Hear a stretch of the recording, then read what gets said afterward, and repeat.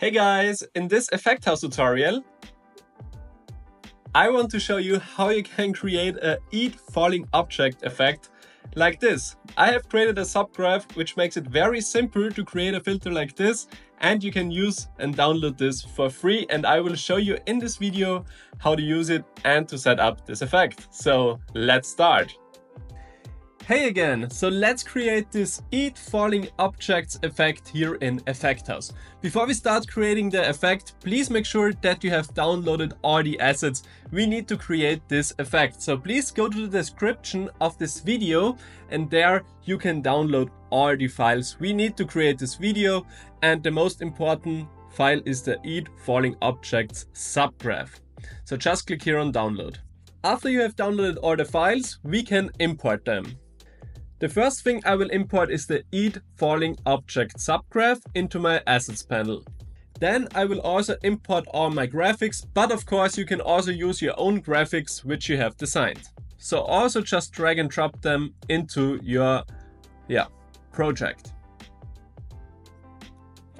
After this is done, we can start creating our scene. So for this, we go to the left hand side to our hierarchy panel and here we click on add object. Then we go to 2D and here we select the screen image. After we have done this, we can see the screen image and also this placeholder in our preview. Now we can just yeah resize this because for me it's a little bit too big. So select the screen image on the left hand side, go to the right hand side and here change the scale 2D. Here activate this chain and then you can yeah, change x and y just with one change. So I will change x to 0 0.3. Yes, this is a good um, size. This is the size of the object which will fall down. Now we will start to animate this thing and also give it the functionality so we can eat it and we will also assign the texture to it. So the next step is that you drag and drop the eat falling object subgraph from your assets panel into your visual scripting panel. After you have done this, you should see this blue node in the middle of your visual scripting panel. Now you see we have some um, inputs and yeah, also two outputs. And now I will show you what those inputs are doing and we will set up this subgraph. So the first thing we will change is the object here. This is set to none, but we have to set this to our screen image scene object. So just click on it and then select the screen image. Then we see that it has disappeared because we haven't set any array yet and we also haven't set the duration.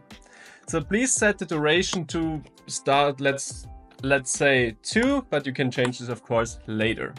And now we have to yeah, change our texture array. I have three pictures. So I will import three pictures here, but I will just start with one. So you see that it also works with one, two or three pictures. So after we have done this, we need one important last step. We have to start this node. So I right click here, or you can also select it here on the top with the plus to add node and then here search for start or if you want to um, yeah, start it with a screen tap you can also search, search for screen tap here but I will trigger it with the start of the filter. So we have this, we also could have used those here, but I don't want them, so I delete it. And yeah, just connect the next output of the start node with the start input of the subgraph. And now you can already see that the object is falling down. And when you open your mouth and you catch the object, it will disappear. You can also see that there is an animation going on. So it is getting a little bit smaller, so it looks more realistic. You can turn this animation on and off here with this bool in the eat falling objects subgraph. So when you set the duration, for example, to one now, the object is falling down um, faster. So here in duration, you type in the, the seconds of how long um, it takes the object to go from the top to the bottom. So when I set it to three, it is much, much um, slower. So yeah, this is the eat falling object subgraph. And here you can of course add more pictures to the array. For example, when I add three, um, it's randomly generated which picture is falling down so you can add some variety to your filter. We have also two outputs here of this eat falling object um, subgraph. You have the next output. This gets triggered when the start triggers here. And we have the catched output. This gets triggered when you catch an object. So you can, of course, use a counter um, to count how many objects are eaten. I will show you now one more thing, um, how to add a second object which is falling down, but which is not triggered at the same time.